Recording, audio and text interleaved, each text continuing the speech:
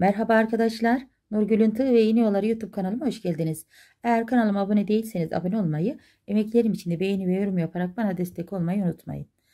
Size bugün yine bir iğne oyası modeli göstereceğim arkadaşlar. Modelimiz bu şekilde. Şöyle e, bakın 4 sıradan oluşan sıralı bir model. Bunun iki sırasını biz yapacağız arkadaşlar. 4 sırasını sizler için denedim. E, lakin çok kaba oldu yani büyük oldu sıralı. Ama size de diğer sıraların nasıl yapıldığını şöyle bir tane kayanın üzerinde de olsa göstereceğim inşallah arkadaşlar. Evet çok zarif hem de sıralı bir model duruyor arkadaşlar. Yani yapılışı hem kolay hem sıralı hem de iğneden tığa. Evet şimdi modelimizin anlatım kısmına geçelim. Evet arkadaşlar şöyle elimde çok güzel taba renginden. Böyle pudranın koyusu. Çok tatlı bir rengi pek yansımıyor ama arkadaşlar. Çok güzel. Şöyle e, ana rengi çıkar. Şöyle kalın bir tutayım arkadaşlar. Evet. Şöyle tığ battılarını ikişer zincir çekerek hazırlıyoruz. Tığ battımızın içine sık iğne ile ipimizi bu şekilde sabitliyorum. 1 2 3 zincir bu arada söyleyeyim hemen arkadaşlar ipimi çok güzel bir şekilde esnettim ve 3 zincir çekerek bu şekilde tığ battığımızı hazırladık buraya. Yanına hemen bir tane daha 3 zincir çekiyorum sıkı sıkı. İkinci tığ battımı bu şekilde yaptım.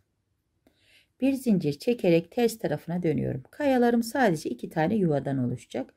Minik olması için bu şekilde yaptım arkadaşlar. Sık iğne ile sabitledim.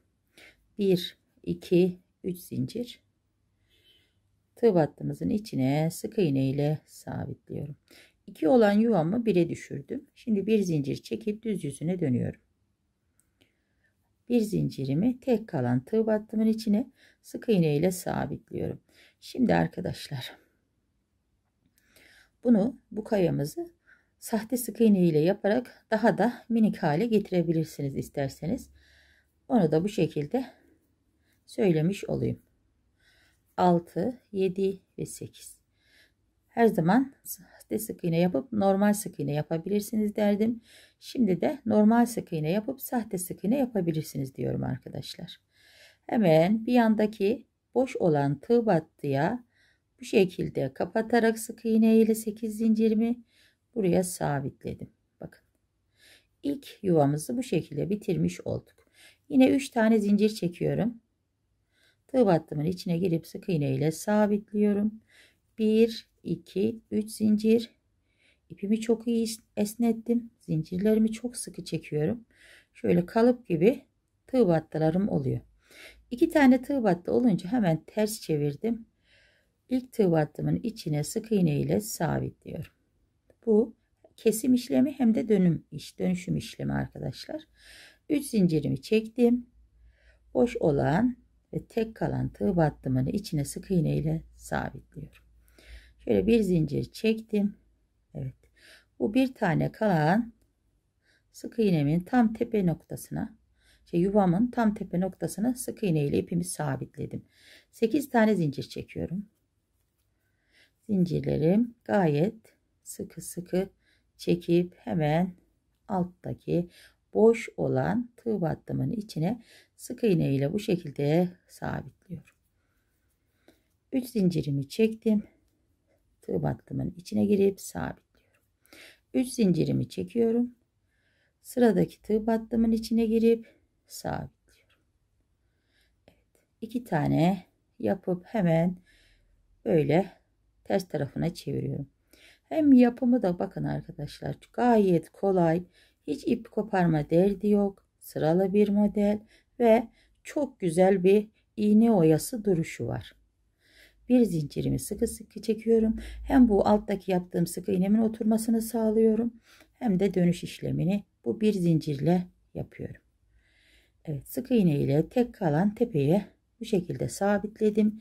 Yine 8 zincir ve sıradaki zincirimin arasına girip buraya sabitliyorum. 1 2 3 zincir. Evet arkadaşlar 3 tane yaptık. Bu alt sıra tüm 4 kenar bu şekilde devam edecek. 3 zincir çekip 2 tane tığ battı yapacağız.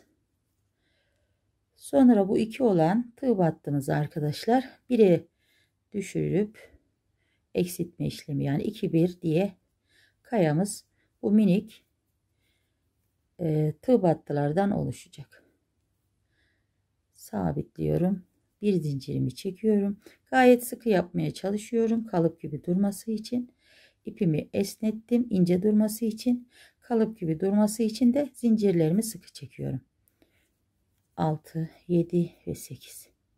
Hemen tığ battığımızın içine buraya sık iğne ile sabitliyorum.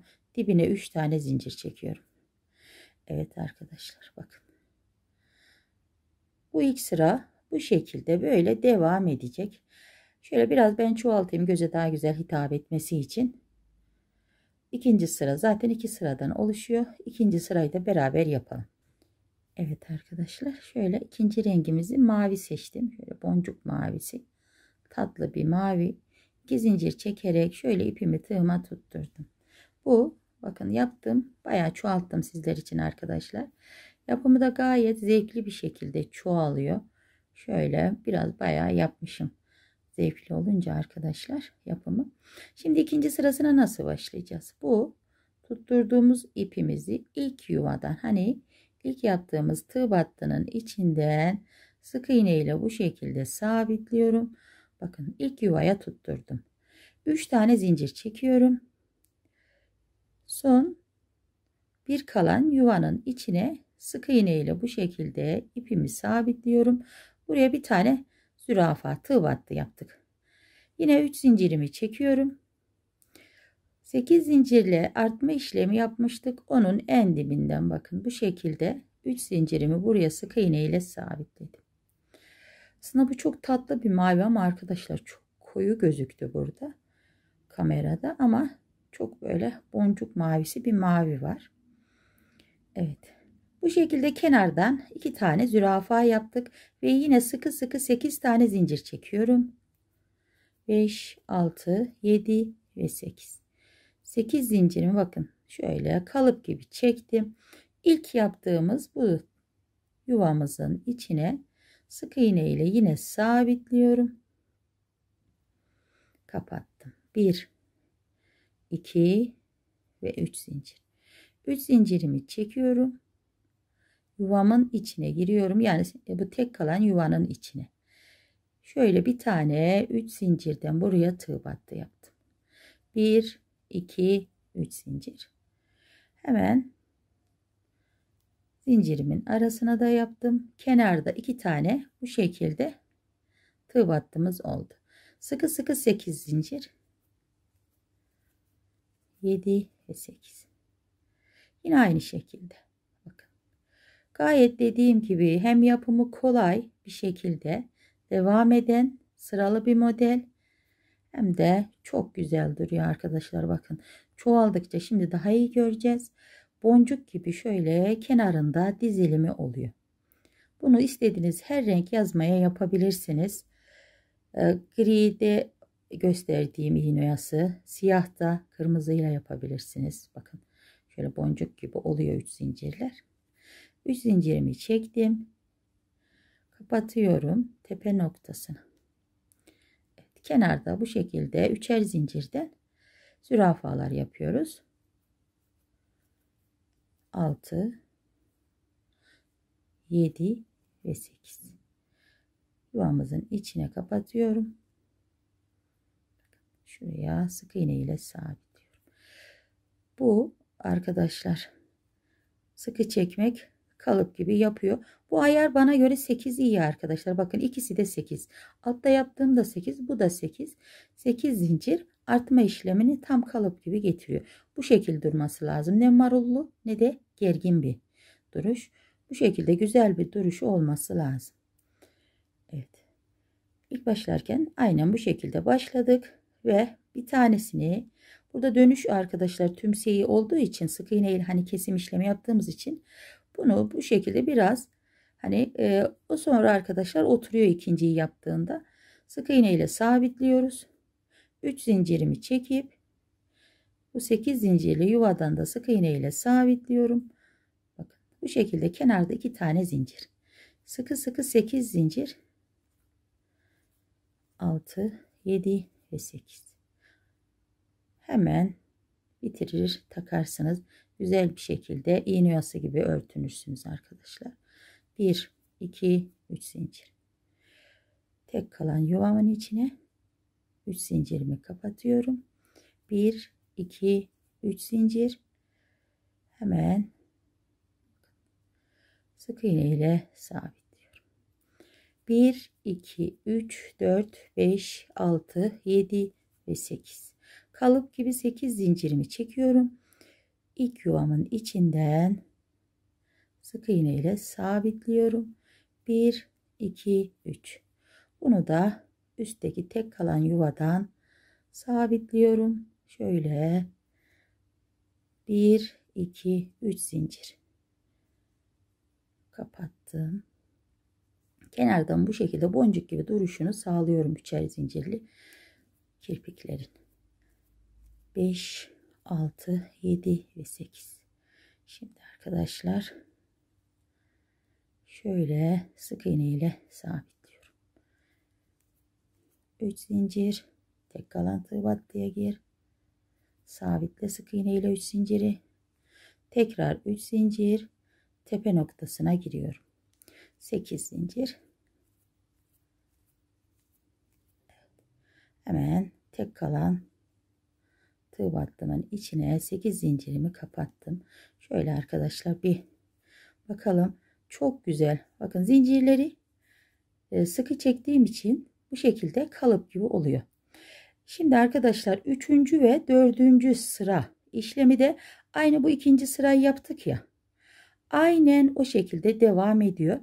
Ben kaba olduğu, olacağını düşündüğüm için e, arkadaşlar bu şekilde iki sıra yaptım ama size şöyle bir göstereyim isterseniz. E, üçüncü sırayda nasıl başlanacağını en azından sizlere göstermiş olayım. Oradaki iğne yasından da bakabilirsiniz eğer yapmak isteyenler 3 ve 4. sıra nasıl olmuş. Evet arkadaşlar. Bakın biraz sizler için çoğalttım. Şöyle kamera arkasında daha zincirleri sıkı çektim galiba. Daha kalıp gibi durdu bence arkadaşlar. Şöyle baştan e, şimdi bir tane iki tane arkadaşlar kayasını göstereyim. Orada hani 3 ve 4. sıra iki tane mavi vardı fark ettiyseniz. Orada lacivert gibi koyu renkti. Böyle 3 zincir çekerek yine aynı şekilde buraya sık iğne ile sabitleyip iki tane arkadaşlar e, tığ battı zürafa yapıyorum. İkincisini bu 8 zincirimin içine yapıyorum. Şöyle biraz isterseniz sayısını 7'de 7'ye düşürebiliriz 8'den el ayarına göre. Hani yukarı çıktıkça biraz daralma olabilir. Ben de sizlerle ilk defa yapıyorum arkadaşlar. Yani resimden gördüğüm, anladığım kadarıyla bu kadar. Bakın buradaki tek kalan yuvamın içini sık iğne ile bu 7 zincirimi sabitliyorum. 1 2 3 zincir. Üstte de esneme oluyor ama olsun arkadaşlar. Sizlere göstermek için. 3 zincirimi çektim. Mavi 8 zincirli yuvaya sık iğne ile bu 3 zincirimi sabitledim. Yine 7 zincir. Evet, 7 zincirimi hemen ilk yuvanın içine sık iğne ile sabitledim. Şöyle dibine de 3 zincir çekerek bırakalım. Bakın arkadaşlar ikinci sıramızda aynen bu şekilde oluyor. İkinci sıra gibi e, yani Maviye göre ikinci sıra bu kayadan hariç bakın bu zürafalı kısımdan bahsediyorum. Mavi de yaparsanız aynen bu şekilde devam edecek dördüncü sırasında maviden yapacaksınız. Daha böyle enli isteyen arkadaşlarım o şekilde yapabilir. Demek istediğim anlaşılmıştır inşallah arkadaşlar. Bunun üzerine bir tane daha mavi çıkılacak. Oradaki modele bir aynen uyarsanız. Ama benim gibi mesela kolaydan şunu sökelim artık arkadaşlar. Umarım anlaşıldı. Şöyle bakın. Ee, iki sıra devam etmek isteyen benim size göstermek istediğim hani kolay model, sıralı model isteyen arkadaşlarımız için bunu tavsiye ediyorum. Benim size bugün anlatmak istediğim modelim bu. Evet gayet de güzel oldu arkadaşlar. Şöyle uzaktan tığımı bırakayım. Tığım üstüme zimmetli. Çöpçüler kralındaki gibi. Süpürge üstüme zimmetli gibi. Tığım elimden bırakmıyorum. Evet çok hoş oldu arkadaşlar. Gerçekten çok zarif oldu. Çok da hoş oldu. Şöyle yakından şöyle bir sıra geçidi yapalım. Evet. Yani bu benim gördüğüm güzellik inşallah buraya da yansıyordur arkadaşlar. Kameraya sizlere de yansıyordur. Sizler de emeklerim için beğeni ve yorum yaparak bana destek olursanız sevinirim. Allah'a emanet olun arkadaşlar. Hoşçakalın.